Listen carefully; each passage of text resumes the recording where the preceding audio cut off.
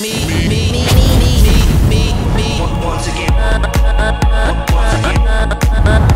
días, buenos días mi gente. Ahora traigo este videito para que vean cómo está la República Dominicana, mi gente. Con la delincuencia no se puede.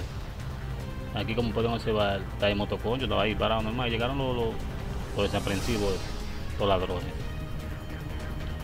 Y nada, viene como está.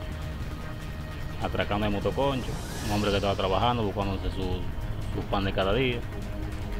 A veces pasan cosas que no es uno quiera, sino que muchas veces hacen que uno haga las cosas. Entonces el señor está trabajando ahí, llegaron estos tres delincuentes, es un su llave de motor, lo tienen a, pun a punta de pistola ahí. Y así que pasan las cosas, mi gente, mire. Un hombre que está trabajando, que está tranquilo.